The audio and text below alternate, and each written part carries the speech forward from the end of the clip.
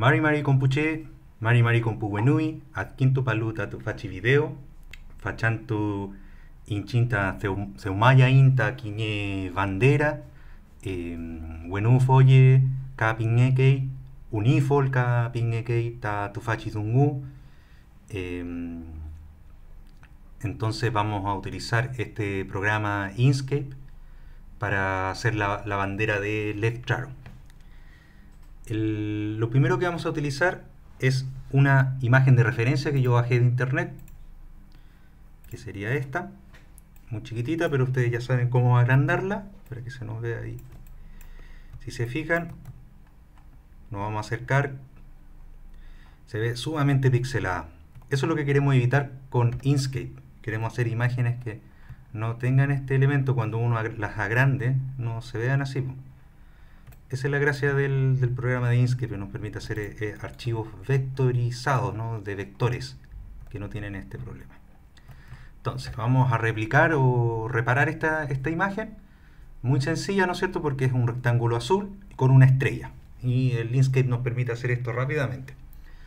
Primero vamos al cuadro de rectángulos y cuadrados, que aquí dice que está aquí en el diálogo de las herramientas, en la caja de herramientas, el toolbox está crear rectángulo, F4 dice. Pero ustedes lo aprieten también y les va a aparecer.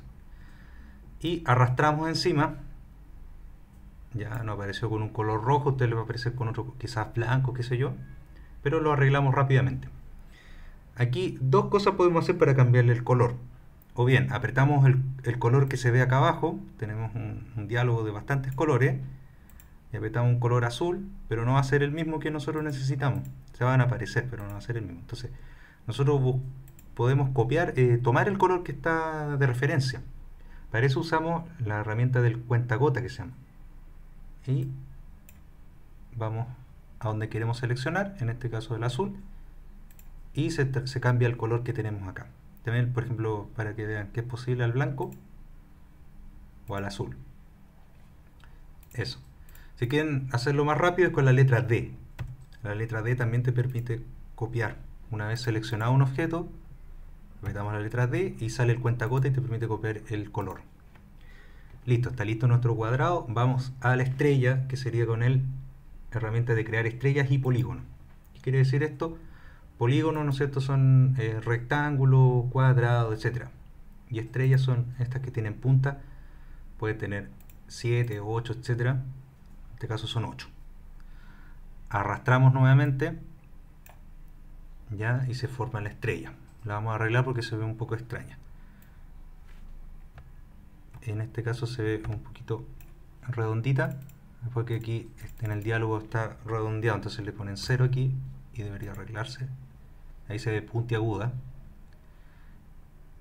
O sea si se le ve redonda por algún motivo le ponen 0 aquí eh, es un poquito más flaca las puntas, así que las cambiamos ahí. Listo. Ahí más o menos, al ojo. Le vamos a cambiar el color, la letra D, el blanco. Las centramos en nuestra imagen y hay que girarla levemente, más o menos ahí. Esto, en este momento lo vamos a hacer todo más o menos al ojo. Es para ir avanzando en nuestro conocimiento. Después yo les voy a enseñar cómo hacerlo, como que quede perfecto, digo y listo, dejamos centrada la imagen, está más o menos replicada. Si usted se acerca a esta imagen, ve que no se pixela. Queda perfecto ahí. Esa es la gracia de este programa. Finalmente, ya que vimos el diálogo de importar, vamos a ver el diálogo de exportar. En este caso ya está todo listo. Vamos a poner un unifol, un nombre. Van a, el área de exportación en este caso es la página que sería todo lo que está dentro de este rectángulo rojo, como lo he venido diciendo. El tamaño, 1250 píxeles. Esto proporcionalmente se, se agranda. Las unidades son píxeles. El nombre, pueden escoger dónde guardarlo. En este caso lo voy a guardar donde está guardado el archivo. Va a aparecer al lado. Y apretamos exportar. Listo.